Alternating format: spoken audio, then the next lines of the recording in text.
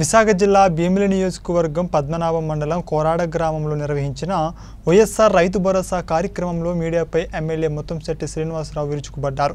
రైతు భరోసా కార్యక్రమంలో కలెక్టర్కు సమస్య చెప్పుకోవడానికి రైతు వచ్చి అడుగుతుంటే పోలీసులు ఆయనను పంపేస్తే ఓ విలేకరి ఫోటోలు తీశారంటూ దానిపై ఎమ్మెల్యే ఇలా స్పందించారు.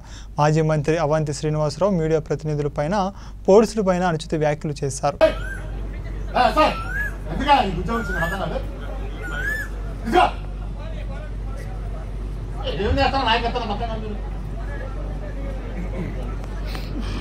అదే వేస్తాడు టీవీ పోయాడు నేను గంట గంట చూస్తా అక్కడికి మా పంతులు. చెప్తాను ఈ సంగతి.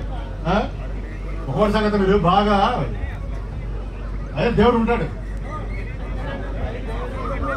కానీ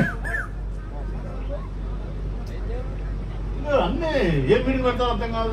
మొత్తం లాస్ట్ జరుగుతుంది ఉన్నా అంతే. అర్థం కాదు